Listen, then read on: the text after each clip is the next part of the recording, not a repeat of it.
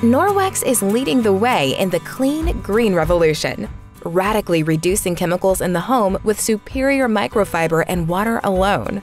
To get the most use from your cloth, fold it in half, then in half again.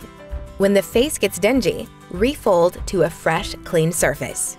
Wipe in even strokes, keeping the cloth flat to collect the most grime and debris.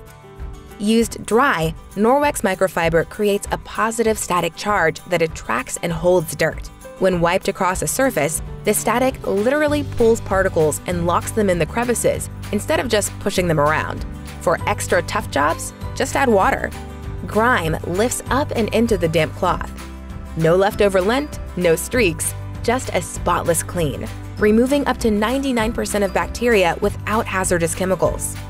Proper care of Norwex microfiber is simple. Between launderings, rinse the cloth under warm water with a dash of Norwex dishwashing liquid. Remember, the fibers actually hold dirt, so give it a good scrub to agitate and remove the buildup. Wring out the excess water and hang to dry completely.